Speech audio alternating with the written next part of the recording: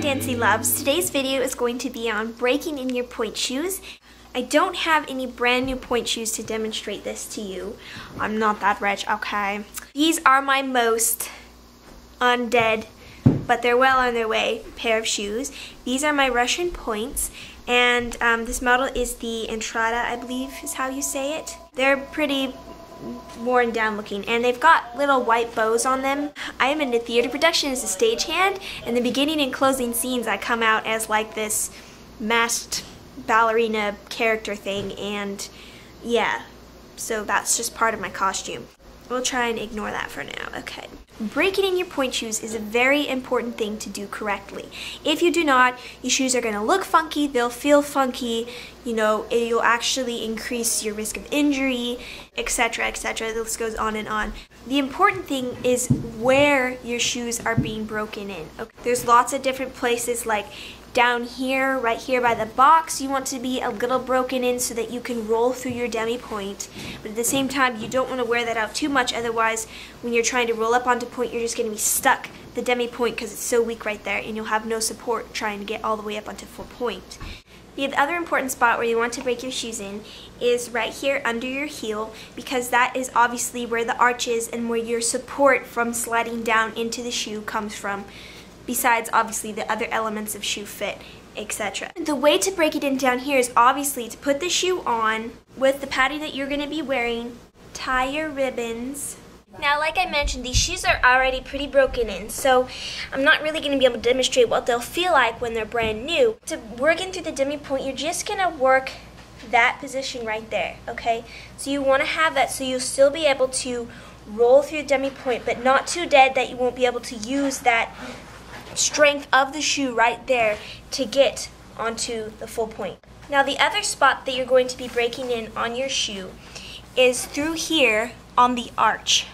There's many different opinions out there. Some people say, including the Russian Pointe makers and the owner of that company actually herself suggested that the best way to break in your pointe shoes is to actually just do pointe work, eleves and releves.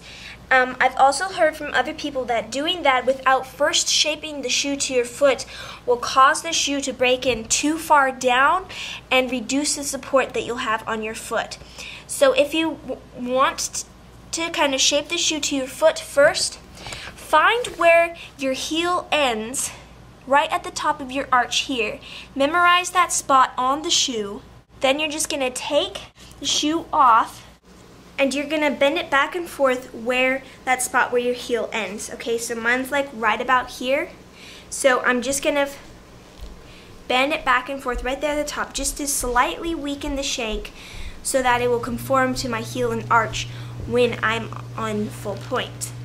By hand, or you can set the shoe, pretend my hand's the floor, set it on the floor, and kind of bend it like that. Once you've slightly molded the shoe to your arch, a really good way to continue the breaking in process is you actually using like the foot stretching technique I demonstrated in my last video which is of course taking the one foot, crossing over the other, and using your shin here, bending your supporting leg to kind of force that foot and shoe to bend. So it's not only a really good foot stretch, but it also can really help you break in your shoes. Be careful. The shanks of your shoes are very strong, but they can still break. And again, my shoes are really kind of dead, so this is bending a lot more than your shoe will when you first get them. You want to go for that very nice arch shaped around your foot, but you also don't want to be bending forward so far like here, see, where I'm over the platform. Remember, three-fourths of a pointe shoe's life, or some, something like that anyways, is breaking the shoe in. Uh, you're going to have about one-fourth, depending on how strong you want your shoes and what level of pointe you are at. Um, one-fourth of the shoe's life is going to be your ideal broken in pointe shoe and then it's dead, it's gone, can't use it no more. That's kind of one of the bummers about pointe because it's very expensive. So when your shoe is fully broken in, you want it to be strong and supportive to your foot, yet shaped to your foot. So when you're on pointe, you want that beautiful arched shape.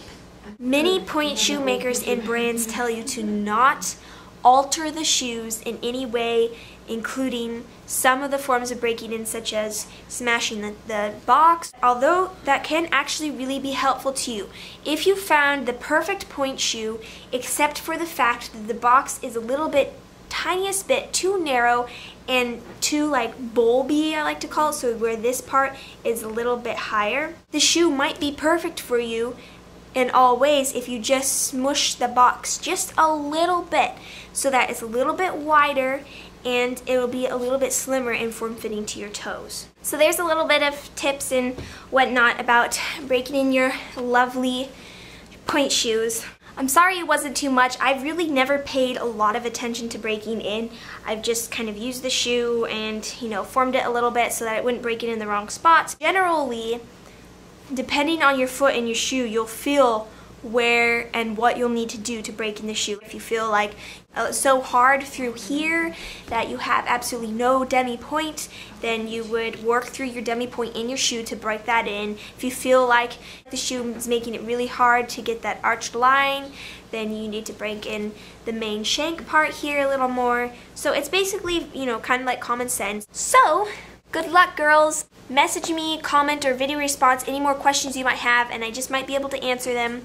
Also, I'll be putting a link in the bottom bar in the description um, to this one lady's video that made a really good video about breaking the pointe shoes in. She's one of the ladies that has a theory that it's not good to break it in just by simply doing pointe work because it might break in wrong. But go ahead and check out her video because it's really good. It was very helpful to me.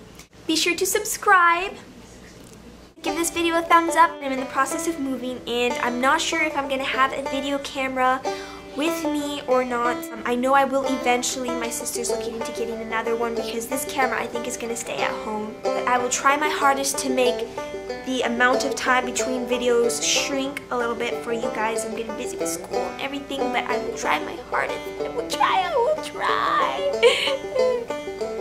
so yeah, bear with me guys. I'll see you next time. Bye.